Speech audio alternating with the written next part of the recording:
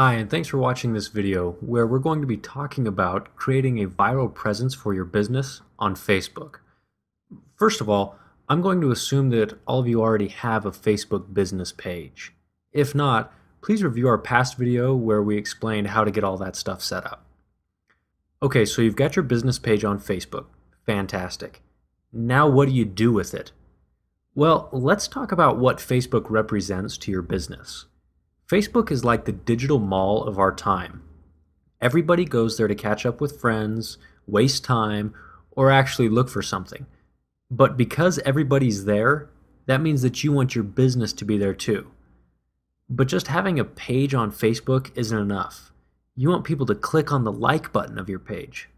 When somebody likes your page, they're telling Facebook, whenever this business posts something on their wall, I want you to tell me about it. That means that when you post on Facebook that you're having a big sale this Friday, every single person who clicked the like button on your page gets notified via their newsfeed. But it gets even better than that. Those people, with one mouse click, can share your post with all of their friends. And now your sale just went viral.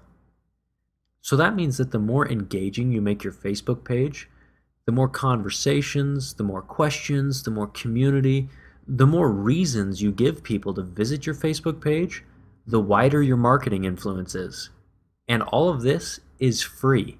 It doesn't cost you a single penny to post something on Facebook and potentially reach hundreds of thousands of people. Now, going back to our mall analogy, having a store there is good, but having a store there with an amazing window display is great. Don't just leave your Facebook page with the standard look. There are quite a few sites out there that offer free and paid tools that let you spice up your page. One that I like is pagemodo.com. They offer a free version, and if you want premium services, they have a great selection with different pricing plans. Getting signed up is a piece of cake. First off, just click on this large blue Start Now button. PageModo is going to ask you to log into Facebook and authorize their app. Once you're logged in, click the Allow button and PageModo will walk you through the rest. As with everything, there are people out there who are experts at doing this. If you can't afford the learning curve, you may want to consider getting some help from a professional. They can help you get your Facebook page looking professional and get your posts going viral. That's it for this video on Facebook pages. Thanks very much for watching, and we'll see you on the web.